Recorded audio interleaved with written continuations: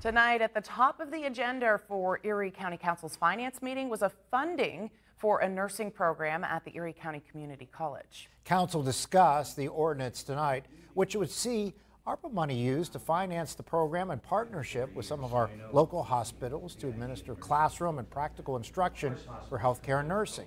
Councilman Andre Horton says he wants to wait until after the budget is set forward for council review on October 1st to vote on the ordinance.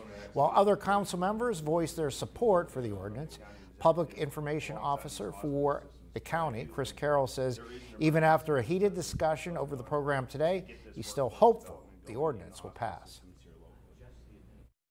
I am confident that we can get it passed. I think it's a good program. We saw a lot of council support in there. Um, even some of the council members who had some questions do say it's a good project. So I'm confident that we can get this one through and get that money to those hospital systems and the community college and start developing the workforce. And that vote is scheduled for next Tuesday.